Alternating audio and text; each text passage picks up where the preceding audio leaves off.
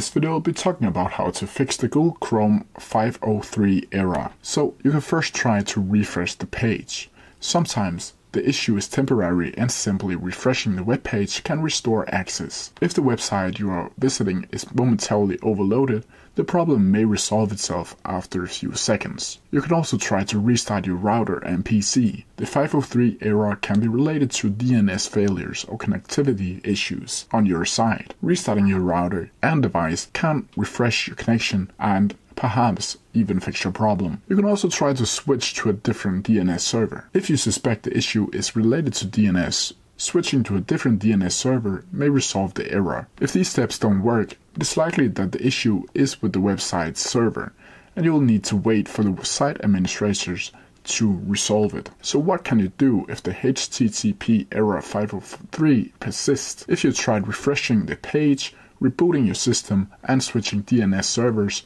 but the 503 error still occurs, it is time to accept that the issue is server side. The best course of action is to wait for the site's administrators to address the problem. If the site is critical to your workflow, you can try to contact the support team for an estimated time for resolution. In the meantime, you can check websites like Down Detectors to see if there's other users are experiencing similar issues like you have, which can confirm that the problem is widespread. And that's how you do it. If you have any questions about it, please leave them down in the comments section below and I'll try my best to answer them as quickly as possible.